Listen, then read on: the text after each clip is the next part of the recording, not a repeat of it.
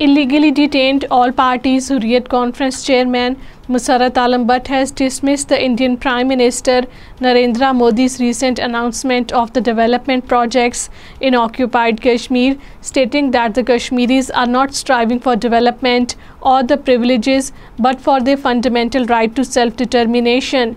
In a special message from the notorious Tihar jail in New Delhi, released in Srinagar, Musarat Alam Butt underscored the Kashmiris' right to self-determination affirmed by India to the international community and supported by the numerous UN resolutions. Senior APHC leader Mirwaiz Umar Farooq has reiterated the demand for negotiated solution to the Kashmir dispute. In a media interview in Srinagar, he stressed the limitations of the force and war in resolving conflicts, highlighting the need for the dialogue.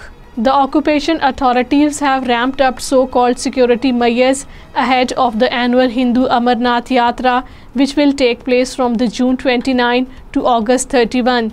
Thousands of additional paramilitary personnel have been deployed across the occupied territory, supplementing the tens of the thousands of the troops already stationed there. The measures also include the installation of the CCTV cameras and deployment of the drones. This excessive security deployment has exposed the Narendra Modi's religious bias.